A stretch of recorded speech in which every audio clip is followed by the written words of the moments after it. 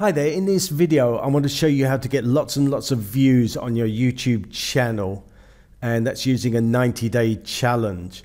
And also at the end I want to tell you something really important that I learned along the way. So this 90 day challenge was something I learned from Miles Beckler who started this just over a year ago. The date now is November 2017 and he started this in August 2016 so maybe 15 months ago at first he got no views and no no minutes watched. I'm actually looking here at the minutes watched, and then by December he'd already got 2,239 minutes watched a day, and then if we come over to here, this is a year later, so by August 19th, 2017, which is a year after he started, he was getting more than a million minutes watched a day and hear the views. Then in three months, he got nearly half a million views.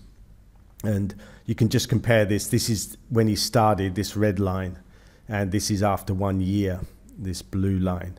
And if you divide this by three, this is three months, then he's getting more than a million minutes watched a month. So that's what inspired me to try this.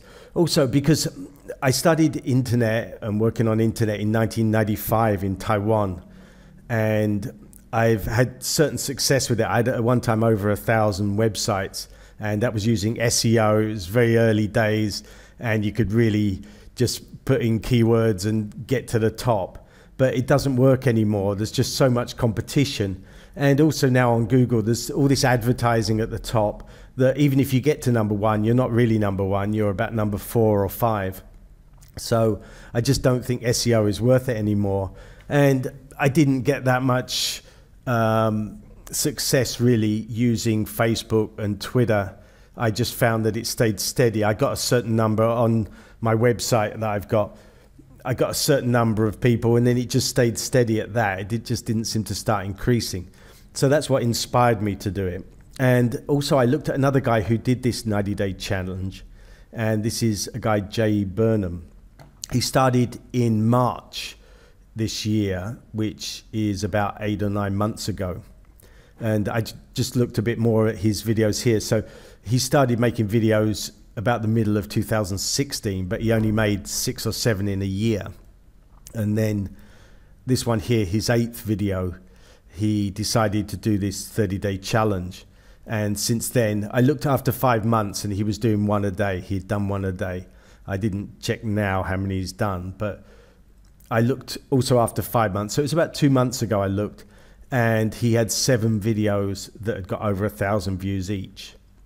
And I just looked now, and he's now got 16 videos, or sorry, 18 videos with more than a thousand views.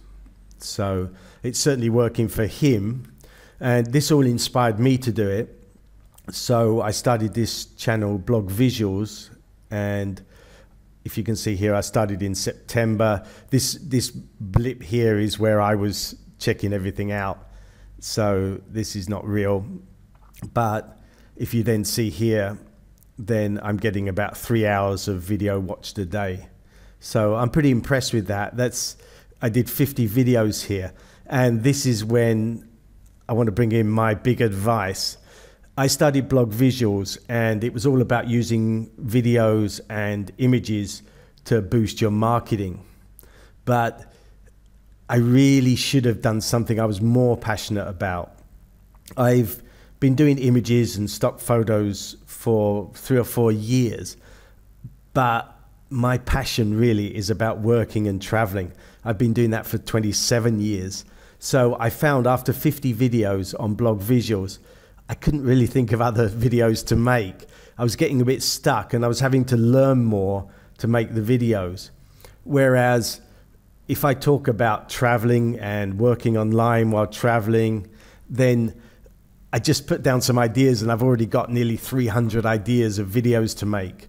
And I, I just think of them. I'm driving around. I'm in Phuket at the moment. Sometimes I'm driving around and I just think of a video to make uh, every day three or four videos I can think think of making.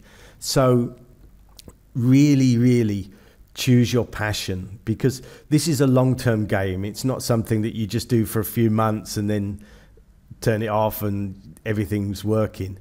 It's something that you can build on and build on. And I think the subject needs to be wide enough. So for me, traveling and working online is such a big topic that I can talk about what in, what inspired me and what, what might inspire you to travel. I can talk about practical tips about traveling, practical things about working online, emotional things about being away from your home country, just so many things about the food, about what to see, about where to go.